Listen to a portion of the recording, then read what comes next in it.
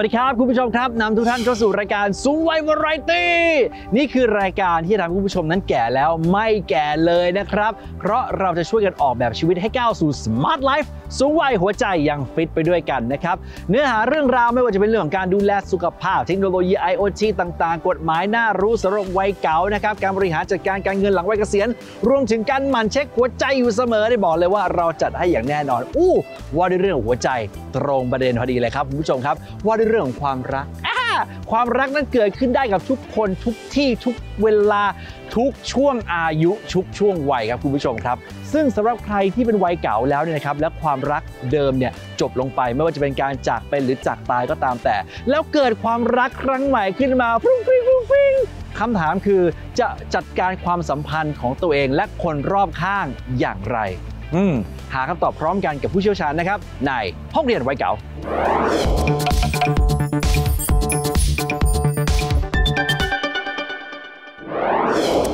คุณผู้ชมครับเราเชื่อว่าความรักเป็นความสวยงามเสมอ แต่เมื่อวัยเก่าจะมีรักครั้งใหม่ หลายๆ คนก็จะโมทนาสาธุบอกโอ้เป็นสิ่งที่ดีแล้ว ในขณะที่หลายๆคน โดยเฉพาะคนใกล้ตัวอย่างลูกหลาน ก็อาจจะเลิกคิ้วกันบ้างหึ เอาจริงเหรอพ่อหึเอาจริงเหรอโกงอะไรประมาณนี้นะครับ เพราะฉะนั้นวันนี้เราจะมาพูดคุยในมุมมองของนักจิตวิทยาบ้างดีกว่าครับว่า การที่วัยเก่ามีรักครั้งใหม่นะฮะที่เราตั้งชื่อว่ารักวุ่นวายกับนายวัยเก่าที่เราจะพูดคุยในวันนี้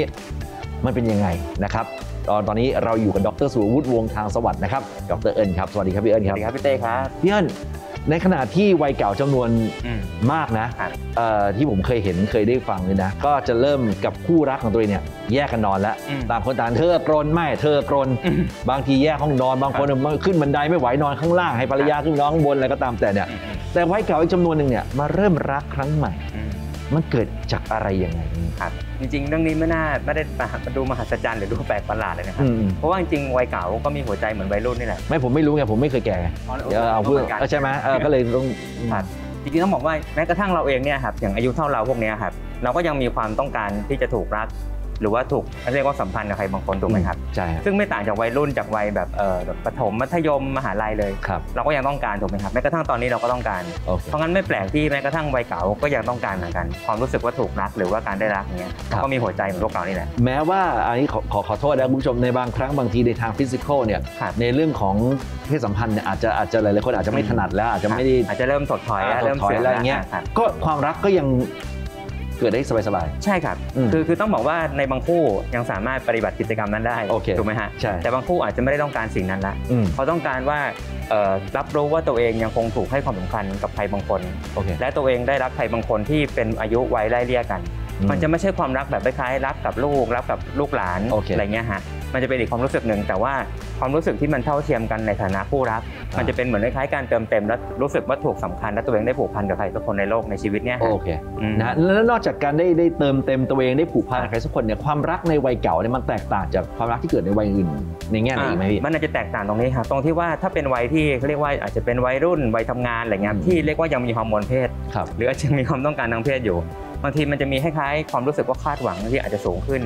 อืมสูงสูงตามวัยครับอย่างเช่นแบบว่าคาดหวังอยากให้คนรักเป็นอย่างงู้นเป็นอย่างนี้อะไรคเงี้รับยครับนะครับครับมันจะมีความรู้สึกผูกมัดมีความรู้สึกต้องการจะครอบครองโอเคแต่บางทีวัยเก่าเนี่ยอาจจะเป็นคนที่ผ่านโลกผ่านชีวิตมาเยอะอืมด้วยประสบการณ์ชีวิตบางทีเขาอาจจะรู้สึกว่าเขาอยากจะรักโดยที่อาจจะไม่ต้องคล้ายๆมีความรู้สึกผูกมัดหรือคาดหวังอะไรกันสูง แต่ว่าเป็นการรู้สึกได้ดูแลซึ่งกันและกันอย่างเงี้ยครับมันจะเป็นความ ความความสัมพันธ์ที่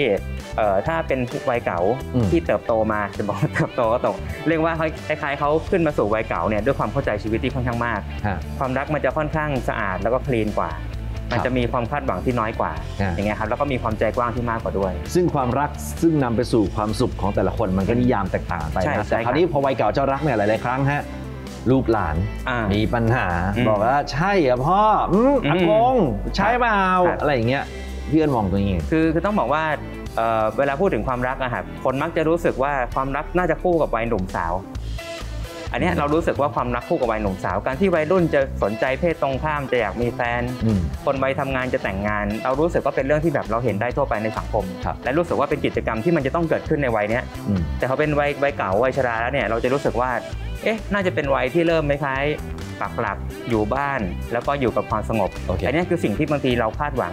ในเชิงสังคมอืมกับผู้อืม สูงอายุ ซึ่งจริงๆแล้วมันอาจจะไม่ควรต้องเป็นอย่างนั้นก็ได้ทีนี้เพื่อนผมถามหน่อยในกรณีที่วัยรุ่นนะเด็กมหาวิทยาลัยเข้าปีหนึ่งไปสดๆร้อนๆเลย ไปเจอครับผู้ชาย โอ้อืมคนนี้โดนโดนโดนครับโดนนะพากลับมาที่บ้านมาเจอพ่อแม่อะไรก็ว่าไป เพื่อที่คล้ายๆเหมือนมาให้เรียกว่าความรู้จักกัน อ่ากึ่งกึ่งขอ approval อะว่าหรือแบบเรียกว่าอ้พาเข้าบ้านให้แบบอ่า ก็เรียกว่าอ่ารับรู้นะผู้ใหญ่รับรู้อย่างนี้ ใช่ อ้าวพ่อพี่แม่สามผ่านไหมอ่า อะไรอย่างเงี้ย ในทางกับการวัยเก่าถ้าจะมีแฟนเนี่ย เขาถึงขั้นควรจะเริ่มจากการเอามาบ้านให้ลูกหลานรู้จัก จริง ๆ มันก็มีเหมือนกันเนาะตะกี้อืมเราฟังดูมันอาจจะแบบดูสวนทางเหมือนกันถูกไหมฮะอืมกลายเป็นว่าตอนเด็กพาไปให้ผู้ใหญ่ทำความเออรู้จักแล้วผู้ใหญ่โอเคไหมเออตอนนี้กลายเป็นว่าพอผู้ใหญ่ปั๊บพามาให้ลูกหลานดูโอเคไหมโอเคมีเหมือนกันครับมีเหมือนกันอืมเพราะบางทีเหมือนกับอย่างที่บอกเนาะเอ่อ ครอบครัวก็อาจจะเป็นห่วงครับเป็นห่วงว่าแบบเฮ้ยพอสูงอายุขนาดนี้ที่ไปคบหากันโดนหลอกหรือเปล่าอืมแล้วคนที่เข้ามานี่เป็นใครเหมือนคนนอกบ้านไม่รู้จักนะครับอ่าอ่าเพราะงั้นมันมีแนวโน้มสูงมากๆที่คล้ายๆคนในบ้านเนี่ยก็จะเกิดได้คล้ายการแบบคล้ายๆตั้งหลักดูก่อนเฮ้ยคนนี้ใครอะไรโอเคหรือเปล่าโอเคไปรับใครจากข้างนอกเข้ามาอย่างเงี้ยอืฮะมมันก็มีแนวโน้มได้เหมือนกันที่บางบ้าน ผู้สูงอายุก็จำเป็นต้องพาผู้รักของตัวเองเนี้ยมาให้ลูกหลานทำความรู้จักและดูก่อนว่าอ่าเปิดใจรับกันได้ไหมอย่างขอเงี้ยไฟเขียว ใช่ครับแล้วขอไฟเขียวในในมุมกับการพี่เอิญแล้วแล้วอย่างนี้ลูกหลานเนี่ยควรจะต้องมีการปรับความเข้าใจหรือว่าปรับ mindset อย่างไรที่จะรับความจริงว่า เออวัยเก่าที่บ้านเราเนี่ยจะมีแฟนนะอะไรอย่างเงี้ยอืมเขาต้องมองครับสำคัญที่ทัศนคติก่อนนะครับครับเหมือนที่ผมบอกว่าบางทีพอเราเขาเรียกว่ากำหนดบทบาทว่าวัยเก่าควรจะต้องเป็นยังไงปุ๊บอืมนั่นหมายความว่ามันเกิดการล็อกไว้อะครับว่าวัยเก่าไม่ควรอะไร ซึ่งบางทีการจะมีความรักเนี่ยมันอาจจะเป็นสิ่งที่อยู่นอกกรอบที่เราคิดไว้อะครับอ่าอ่ามันเลยทำให้เรารู้สึกว่าพอผู้สูงอายุจะมีความรักปั๊บมันแบบเฮ้ยอืมได้เลยอย่างเงี้ยฮะแต่ถ้าเรามีมุมมองว่าจริงๆ ผู้สูงอายุก็เป็นคนที่แบบมีความรักเอ้ยต้องการความรักครับเหมือนที่พวกเรามีตอนที่เรารู้สึกปัจจุบันเนี่ยตอนที่เราหนุ่มสาวเราก็ต้องการนะครับครับผู้สูงอายุก็เป็นคนที่มีหัวใจเหมือนเราเหมือนกันครับเขาก็ต้องการแต่เพียงแค่ว่าเหมือนที่บอกนะว่าบางทีพอเอ่อถ้าเกิดเขาสูงวัยแล้วเขาเกิดมีใครสักคนที่แบบเขารู้สึกเหมือนแรไอเทมอืมเหมือนเป็นสิ่งที่หายากมากที่เข้ามาคบหาอ่าเขาอ่าเนี่ยฮะเขาอาจจะคล้ายๆฉวย ถ้าเกิดเขามีความรู้สึกเหงานะโอเครีบฉวยรีบคว้าแล้วก็ยึดติดมากๆ อันเนี้ยเป็นสิ่งที่ลูกหลานหรือคนในครอบครัวต้องช่วยกันดูโอเคเพราะว่าสุดท้ายการสแกนหรือว่าดูว่าแบบคนที่เข้ามาคบหาเนี่ยเป็นคนดีจริงใจไหมอะไรเงี้ยฮะอืมก็ยังเป็นสิ่งที่ต้องทำอยู่ไม่ว่าจะเป็นวัยไหนก็ตามก็ต้องทำอยู่ดี คือพี่เอิญกำลังจะบอกว่าถ้าวัยเก่าจะมีแฟนโอเคนะมีได้มีได้มีได้ไม่เป็นไรจะแต่งงานอีกสักรอบเป็นรอบที่ 3 รอบทีสี่4 มีไปเถอะครับแต่ในเงื่อนไขที่ว่าเราต้องมั่นใจว่ามีความสุข เพราะใช่ถ้าเกิดมีรักที่ไม่ดีอย่ามีดีกว่า ใช่ครับจริงๆอีกอย่างหนึ่งต้องบอกว่า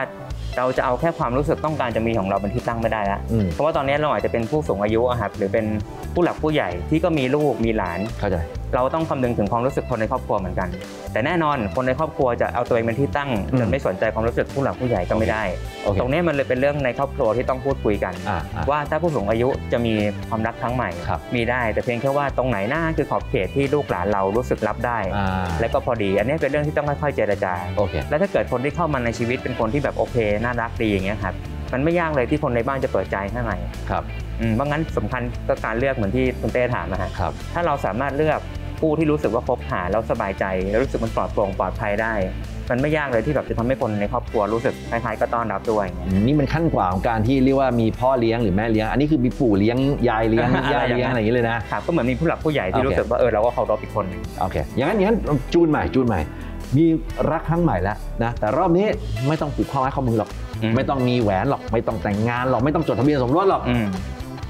ยั่งยืนกว่าไหมหรือว่าไง เออจริง ๆ ผมว่าอันนี้มันแล้วแต่ฮะอืมบางบางคู่เขารู้สึกว่าอยากทำให้มันเป็นจริงเป็นจัง ครับเพราะว่ามันเป็นการให้เกียรติ อ่า แต่หลายคนรู้สึกว่าการผูกข้อไม้ข้อมือหรือแม้กระทั่งการแต่งงานเนี่ยมันคือพิธีที่คล้ายๆประกาศสู่สาธารณะ อืม ว่าเราจะใช้ชีวิตคู่ร่วมกันนะ เพราะฉะนั้นของพวกนี้มันคือการให้เกียรติครับแต่แน่นอนครับมันขึ้นอยู่กับว่าแต่ละบ้านเนี่ยเขามีมุมมองหรือว่ามีความจำเป็นในเชิงสังคมไหมอืมบางบ้านไม่มีความจำเป็นเชิงสังคมเลย อืมหรือรู้สึกว่าการแต่งพวกนี้อาจจะเป็นการสิ้นเปลือง อ่างบไม่เยอะอะไรเงี้ยโอฮะเคโอเค การแต่งเนี่ยอาจจะเป็นภาระของชีวิตด้วยซ้ำโอเค เพราะฉะนั้นบางทีแค่แค่รู้รู้การกินข้าวร่วมกันในอ่าบ้าน ว่าโอเคสองคนนี้คบหากันโอเคบางทีแค่นี้ในครอบครัวเพียงพอแล้วเพราะว่าหัวใจหลักจริงๆมันคือเรื่องครอบครัวครับแต่ไอ้เรื่องแต่งงานประกาศให้สังคมรู้อะไรก็ตามเนี้ยมันจะจัดเล็กจัดใหญ่อันนี้ผมว่าแล้วแต่กำลังทุนหรือว่าความจำเป็นของสังคมในครอบครัวนั้นมากกว่าครับสุดท้ายท้ายสุดพี่เอิญฝากอะไรถึงวัยเก่าที่ตอนนี้กำลัง สปาร์กเบาๆว่าเออเอออาจจะมีรักครั้งใหม่รวมถึงฝากถึงลูกหลานที่ว่าถ้าเกิดว่าวัยเก่าที่บ้านเนี่ยจะมีรักครั้งใหม่เนี่ยเราเองควรต้องมีมุมมองอะไรอย่างเงี้ยเชิญครับเออถ้าฝากให้วัยเก่าก่อนนะต้องบอกว่าจริงๆ ผมไม่ใช่คงไม่ได้บอกแค่วัยเก่าเราบอกทุกคนที่จะมีความรักนั่นแหละว่าเอ่อเราต้องการมีความรักเพื่อให้เรารู้สึกสงบและใจมั่นคงอะครับอืมเราไม่ได้มีความรักเพื่อให้ทุกข์มากขึ้นจ้าจริงทีนี้การที่เราอยู่เป็นวัยเก่าขึ้นมาประสบการณ์ในชีวิตมากขึ้น เราผ่านร้อนผ่านหนาวผ่านความทุกข์มาเยอะอะครับ พยายามระวังเนาะอย่าสร้างความทุกข์ให้เกิดขึ้นในวัยชราของเรา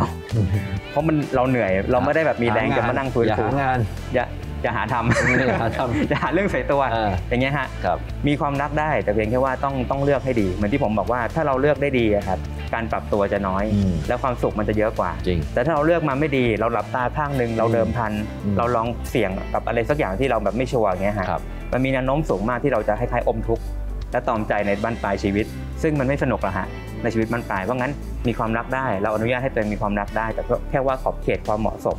เราต้องไม่ลืมว่าเราจะเอาความต้องการตัวเองแบบเป็นที่ตั้งจนไม่สนลูกหลานไม่สนใครอืมไม่แคร์เวิลด์ครับไม่ได้ มันยังมีจุดที่เราอาจจะต้องคล้ายๆห่วงใยความรู้สึกอะลูกเราบ้างหลานเราบ้างเข้าใจแต่เพียงแค่ว่าไอ้จุดที่มันจะแบบเอ่อ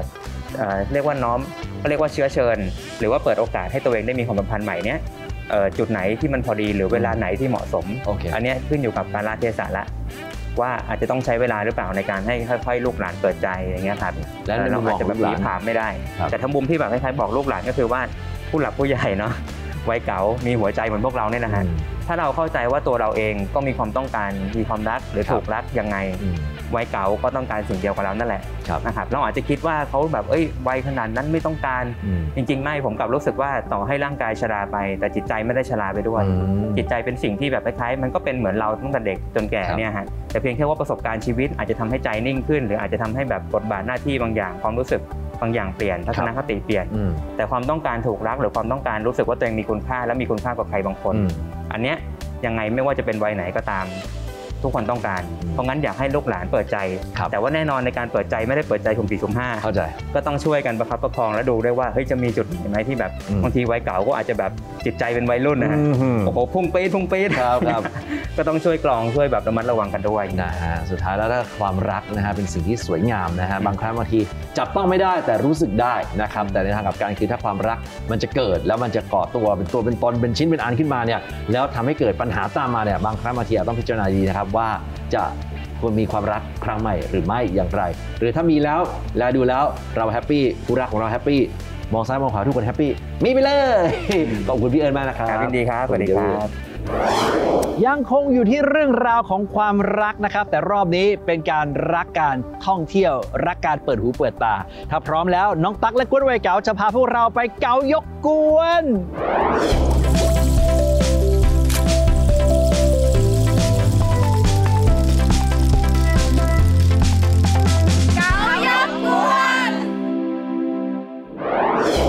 ในช่วงเก่า ยกกวนวันนี้ค่ะชวนมาเที่ยวแบบ one day trip ที่เกาะเกร็ดจังหวัดนนทบุรีนะคะ ซึ่งที่นี่ค่ะ เราจะได้สัมผัสกับวิถีชีวิตวัฒนธรรมของชุมชนชาวมอญชิมอาหารอร่อยๆและไหว้พระทำบุญกันด้วยค่ะ เป็นกิจกรรมที่เหมาะกับวัยเก๋าจริง ๆ เลยนะคะ เริ่มต้นที่แรกนะคะ เราจะพาไปชมสัญลักษณ์ของเกาะเกร็ดที่เราเห็นอยู่ข้างหลังนี้ค่ะ คือพระเจดีย์มุตเตานะคะ อยู่ที่วัดปรมัยยิกาวาสเดี๋ยวข้ามเรือไปพร้อมกันเลยค่ะ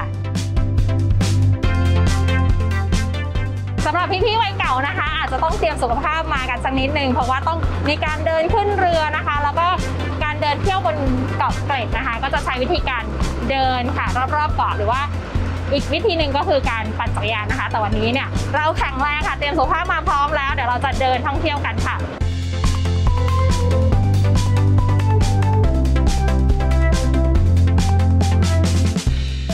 เนี่ยค่ะเราจะเห็นว่าเกาะเกร็ดนะคะอยู่ มีแม่น้ำเจ้าพยาล้อมรอบนะคะ จุดที่เราอยู่ตอนนี้ก็คือนี่วัดปรมัยยิกาวาสนะคะ เดี๋ยวเราจะเข้าไปดูข้างในกันที่นี่มีจุดน่าสนใจหลายอย่างนะคะ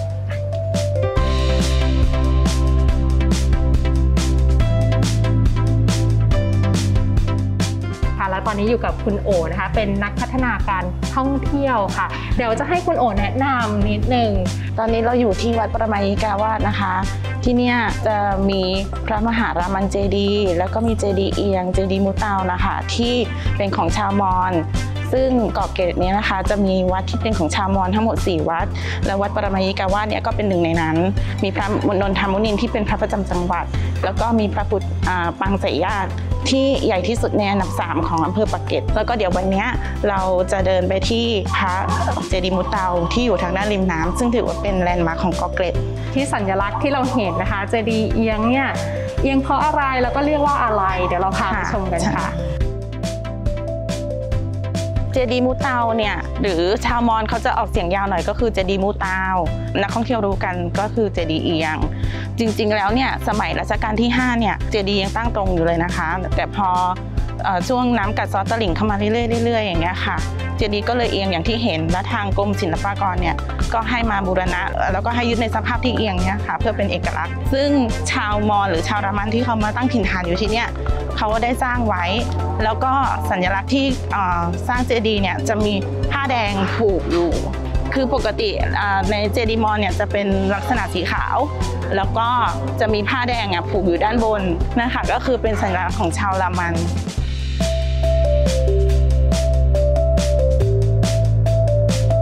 ติแล้วพอมาถึงแล้วเนี่ยก่อนที่จะไปไหว้พระนนทามุนิน ก็ส่วนใหญ่ให้ไปไหว้พระนอนก่อนก็คือเข้าไปแล้วก็เลี้ยวขวานะคะแล้วก็ไปไหว้พระปางสายญาติ เสร็จแล้วก็ค่อยเดินมาแล้วก็วนไปทางซ้าย เพื่อจะไหว้พระนนทามุนินค่ะ ซึ่งเป็นพระประจำจังหวัดของจังหวัดนนทบุรี ซึ่งแอบบอกนะคะเขามีตำนานด้วยนะว่าผู้ว่าราชการจังหวัดนนทบุรีจะต้องมาไหว้ใช่ค่ะไหมคะจะต้องมาไหว้ที่นี่ถ้าใครที่มาอ่ารับตำแหน่งที่จังหวัดนนท์ก็มักจะมาไหว้พระประจำจังหวัดที่นี่ค่ะ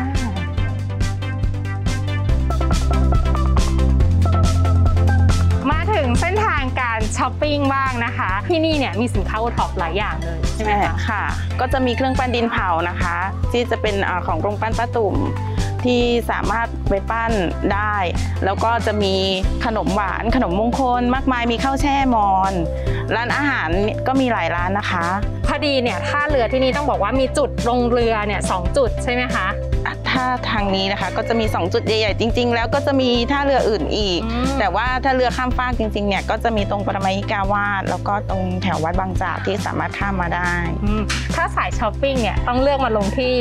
อ่าวัดปรมายิกาวาสค่ะ มาจากวัดสนามเหนือแล้วก็ข้ามมา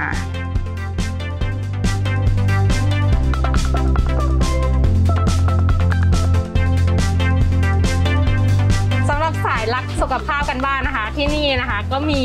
นี่เลยสมุนไพรบ้านย่าสาวเกาะเกรดใช่ขอค่ะเกตของแคทจะเป็นรุ่นที่ 3 ค่ะรุ่นที่ใช่สาม ใช่ค่ะ ก็คือคุณยายคุณแม่แล้วก็เป็นแคทค่ะใช่แสดงว่าตำรับตำรายาต่างๆเนี่ยก็สืบทอดต่อกันก็จะเป็นสูตรต้นตำรับของคุณยายเลยค่ะ ก็คือเป็นสมุนไพรที่ปลูกในชุมชนทำโดยคนในชุมชนแล้วก็ขายในชุมชนค่ะ โอ้โหเป็นสินค้าโอท็อปด้วยไหมคะ ใช่ค่ะ เป็นสินค้าโอท็อปด้วยค่ะ เป็นสินค้า OTOP ตัวนี้จะเป็นสเปรย์มะกรูดฉีดกันยุงค่ะเอ่อสเปรย์มะกรูดฉีดกันยุงเนี่ยกลิ่นจะไม่เหมือนคนอื่น เพราะว่าเราใช้มะกรูดสกัดเย็น แล้วก็ใช้เอ่อเครื่องยาต้นตำรับพวกเกล็ดสะระแหน่พิมเสนการบูรค่ะ แล้วก็ตะไคร้นี่แต่แคทลองฉีด เราฉีดตัวได้เลยปลอดภัยค่ะมันจะหอมสดชื่นเหมือนกลิ่นแบบผ่อนคลายทำให้เหมือนแบบแก้กันแมลงได้ด้วยแล้วก็ฉีดในห้องกันไมเกรนแก้ไมเกรนได้ผ่อนคลายจริงๆอันนี้เหมือนมีกลิ่นตะไคร้หอมใช่ใช่ซึ่งยุงค่ะกลัวนะคะแต่เราไม่กลัวเราชอบเราชอบค่ะ ตอนนี้จะสดชื่นแล้วคนบางคนเขาก็ไปฉีดแทน air fresher ค่ะ ร้อนๆนะคะ มาเจอแก๊งสาวๆกำลังกินข้าวแช่คลายร้อนกันอยู่บรรยากาศดีมากๆเดี๋ยวเขาไปคุยกันค่ะว่า เป็นยังไงบ้างรสชาติอร่อยไหมแล้วก็ตลอดเส้นทางที่เดินมาเนี่ยรู้สึกยังไงกันบ้างค่ะ เป็นไงบ้างคะดีค่ะหนึ่งได้บรรยากาศชายน้ำแล้วทดลองทานไปแล้วเนี่ยอร่อยตั้งแต่เดินมาของกินเยอะไหมเยอะมากอะค่ะตลอดเส้นทางมาเนี่ยชิมไปหลายเจ้าแล้วค่ะแล้วก็มาตกอยู่ที่ลุงแดงนี่แหละค่ะ มาถึงเกาะเกร็ดแล้วนะคะ ต้องมาชิมทอดมันหน่อกะลา ถ้ามาแล้วไม่ได้ชิมเนี่ยถือว่ามาไม่ถึงเกาะเกร็ดใช่ไหมคะพี่ติ๋ใช่มค่ะ ร้านน้องแฝดด้วยนะคะ อันนี้คือทอดมันหน่อกะลาหน่อกะลาใช่หลายคนบอกว่าเอ๊ะหน้าตามันเป็นยังไงคะมันเหมือนต้นข่า แต่ว่ามันไม่เผ็ดเหมือนข่าข่ามันจะเผ็ดแล้วมีกลิ่นฉุนเนี่ยแต่นอกกะลาไม่เผ็ดมีกลิ่นอ่อนๆลักษณะดอกก็เหมือนกันเลยแต่คนละสีก็คือเป็นสมุนไพรใช่ในท้องถิ่นใช่ใช่ไหมใช่คือขึ้นแถวนี้ด้วยใช่ที่อื่นไม่มีออกไปปากเกร็ดก็ไม่มีแล้ว มันจะมีอยู่ในในเกาะเกร็ด ชิมค่ะอืมทอดมันเขาเนื้อเด้งมากค่ะแล้วจะมีความรู้สึกว่ามันแบบเนื้อสัมผัสที่แบบเข้ากันนะคะ แล้วก็รสชาติเนี่ยกลมกล่อมมากค่ะ อร่อยมากอะใครที่มาถึงที่นี่แล้วนะคะ รับรองว่าเด็ดอย่าลืมเป่าก่อนเข้าปากด้วยนะคะ เพราะร้อนมากจริงๆ ขอบคุณน้องตั๊กและกวนวัยเก่ามากๆเลยนะครับที่พาพวกเราไปเปิดหูเปิดตาอีกแล้วครับท่าน คุณผู้ชมครับเป็นไหมฮะเวลาใช้สมาร์ทโฟนอยู่แล้วมันเกิดว่ามันเมื่อยขึ้นมา เกิดทั้งกล้ามมือกล้ามแขนกล้ามนิ้ว มันรู้สึกมันจะล็อกๆ แปลกๆ เอ้ยยึดไปหมดเลย เรามีวิธีคลายให้ง่าย ๆ ครับ น้องแบงค์พร้อมแล้วที่จะพาพวกเราไปเก๋ายังฟิตครับ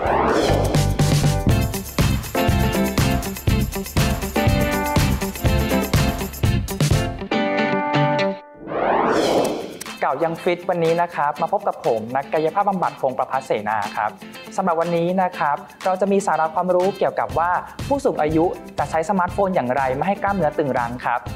สำหรับสมาร์ทโฟนเลี่ยงไม่ได้เลยนะครับ ที่จะเป็นอุปกรณ์ที่สูงวัยจะต้องใช้งานเวลาอยู่ที่บ้านนะครับ เพราะฉะนั้นเวลาที่สูงวัยใช้งานครับก็จะทำให้กล้ามเนื้อเช่น มือ แขน อกหรือว่าคอ เกิดการตึงรั้งจากการก้มในการเล่นนานๆได้ครับ วันนี้นะครับเราจะมี 4 ท่าง่ายๆครับที่จะช่วยให้กล้ามเนื้อ ไม่ตึงรั้ง เวลาที่สูงวัยใช้สมาร์ทโฟนครับสำหรับท่าแรกนะครับจะเป็นท่าสำหรับยืดกล้ามเนื้อตรงอุ้งมือครับเพราะว่าเมื่อเราใช้การกดหรือว่าจับนานๆกล้ามเนื้ออุ้งมือจะตึงครับท่าแรกนะครับให้เราหงายฝ่ามือนะครับ จากนั้นค่อยๆดึงนะครับ แบะออกนะครับ ไม่ให้มันห่อนะครับ ดึงออก ค้างไว้นะครับ 10 วินาทีนะครับ นับ 1 2 3 4 5 6 7 8 9 10 และค่อยๆผ่อนนะครับ จากนั้นดึงซ้ำใหม่นะครับ แบะมือออกนะครับ 1 2 3 4 5 6 7 8 9 10 และผ่อนครับ เวลายืดอาจจะรู้สึกตึงบริเวณตรงอุ้งมือได้นะครับ แต่ไม่ควรรู้สึกเจ็บนะครับ เซตหนึ่งทำ10 ครั้งนะครับ ค่อยๆทำซ้ำต่อเนื่องไปเรื่อยๆนะครับ อันนี้คือท่าแรกนะครับ ที่จะช่วยยืดตัวกล้ามเนื้อตรงอุ้งมือของเรานะครับ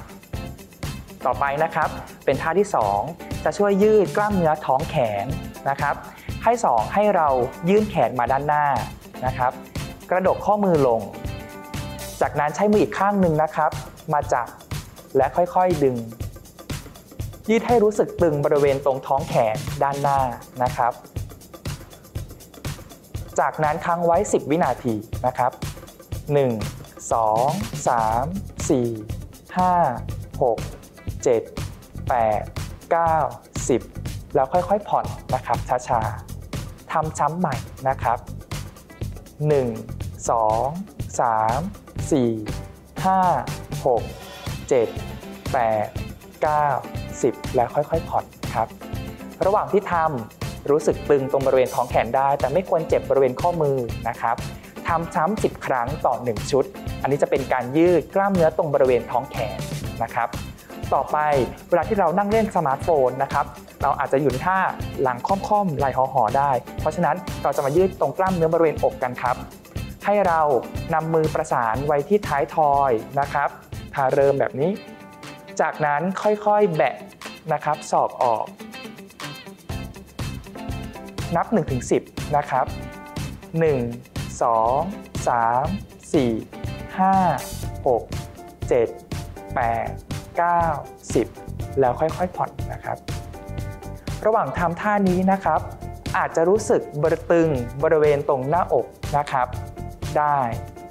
นะครับค้างไว้ 10 วินาทีนะครับ 1 2 3 4 5 6 7 8 9 10 แล้วค่อยๆผ่อนนะครับท่านี้จะเป็นท่าที่ยืดกล้ามเนื้ออกด้านหน้าของเรานะครับทำให้เรานั่งยืดตัวได้ดีขึ้น และไหล่ไม่ห่อมาด้านหน้าครับเซตหนึ่งสิบครั้งนะครับจำง่ายๆเหมือนกันจะได้จำได้ง่ายนะครับ อันนี้คือท่าที่3นะครับ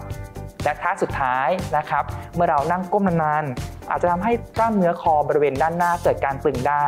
ท่านี้จะเป็นท่ายืดกล้ามเนื้อคอด้านหน้านะครับให้เราเงยศีรษะเหมือนมองเพดานนะครับ จากนั้นใช้มือสองข้างประสานกัน แล้วก็นำนิ้วโป้ง ดันตรงบริเวณคอนะครับแล้วค่อยๆดันขึ้น